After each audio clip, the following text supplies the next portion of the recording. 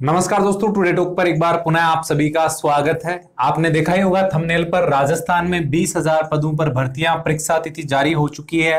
RSM, SSB, LDC भर्ती को लेकर भी हम बात करने वाले हैं।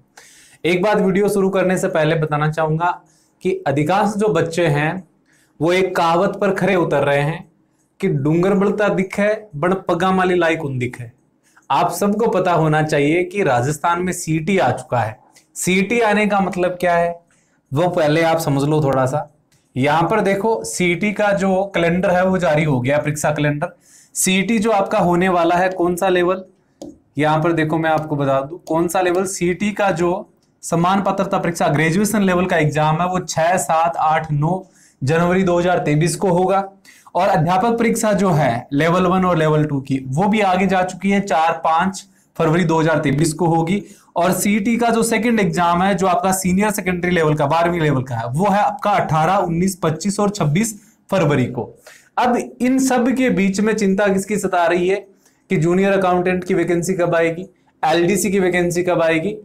राजस्थान पुलिस कांस्टेबल की वैकेंसी कब आएगी?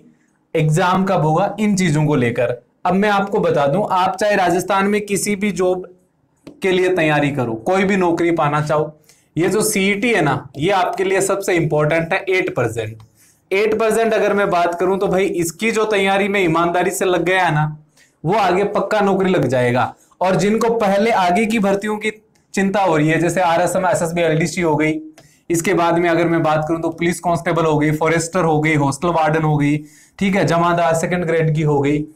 तो उस चिंता करने से कुछ होने वाला नहीं है। पहले ये जो सीटी है ना, इसको आप पास करो, इसकी तैयारी करो, ये ज़रूरी है। अब यहाँ पर ये पता चल गया है हमें कि भी एग्ज़ाम कब होना है? फरवरी के अंदर एग्ज़ाम होना है। तो पहले फरवरी तक की चिंता करो।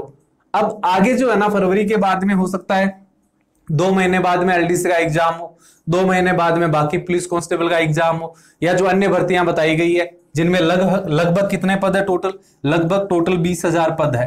बीस हज़ार पदों के आसपास भर्तियाँ आने वाली है। इन बीस हज़ार पदों की भर्तियों का फ़ायदा कौन उठाएगा? वो बच्चा उठाएगा जो सीटी का एग्ज़ाम पास कर लेगा। जो सीटी का एग्ज़ाम पास कर लेगा, अच्छे मार्क्स लेकर आएगा, वही उनके अंदर शामिल हो पाएगा।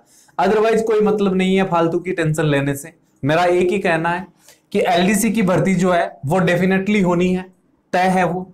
तो वो हो जाएगी। उसका एग्ज़ाम भी फरवरी के बाद में हो सकता है, दो ढाई महीने बाद में हो जाए। लेकिन उससे पहले आप इसकी तैयारी करो ना सीईटी की। इसकी तैयारी कर लोगे तो एलडीसी की तैयारी हो जाएगी अल्टीमेटली क्योंकि सब्जेक्ट ऑलमोस्ट सिमिलर है। थोड़ा सा बदलाव आपको देखने को मिलेगा। तो अभी से आप अपनी तैयारी है ना एलडीसी की परीक्षा सीईटी को समझ लो और इसी के अनुरूप तैयारी करो। अगर सीईटी का बेड़ा पार हो जाएगा ना तो आगे आप किसी भी भर्ती में जाओगे तो वहाँ पर आपको कंपटीशन कम देखने को मिलेगा। और हंड्रेड परसेंट आपके हाथ में ये मौका रहेगा कि आप किसी ना किसी भर्ती में सिलेक्ट हो जाओगे। लेकिन सीईटी में अगर आपके अच्छे मार्क्स नहीं बने तो फिर सीईटी के एग्ज़ाम का इंतज़ार करते रहना। एक साल बाद में एग्ज़ाम होगा, ठीक है? इसके बीच में हो सकता है एक दो भर्तियों के एग्ज़ाम हो जाए।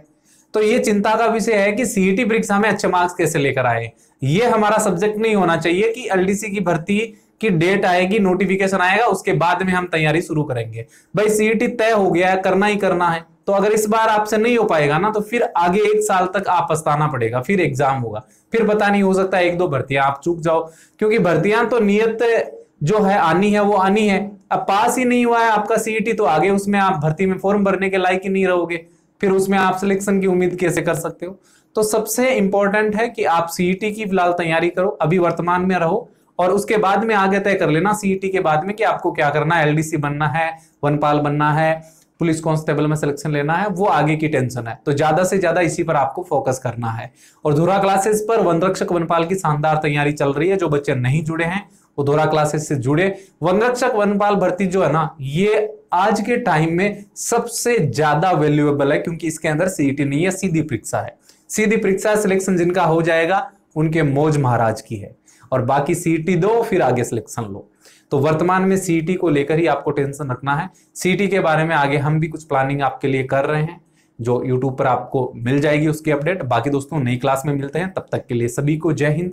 राम राम सा। उम्मीद है आज की जानकारी आपको अच्छी लगी है तो वीडियो को लाइक और शेयर करना मत भूलिएगा। कोई भी सवाल है, आप कमेंट बॉक्स में पूछ सकते हो, मैं कोशिश करूँगा रिप्लाई करने की या अगले वीडियो में उसका जवाब देने की। बात का बुरा मत मानना, ये एकदम सच्चाई है। थैंक यू धन्यवाद।